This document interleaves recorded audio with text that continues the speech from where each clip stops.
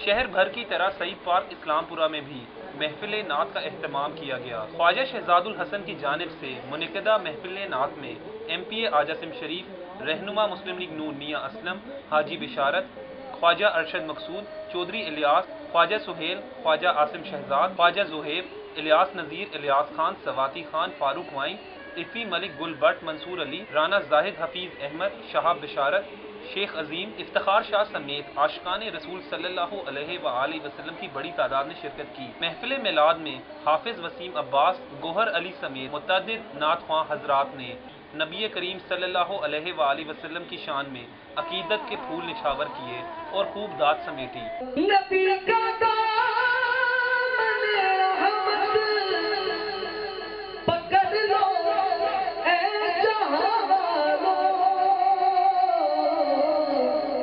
रहे जब तक ये हाथों में चलन मैला नहीं होता।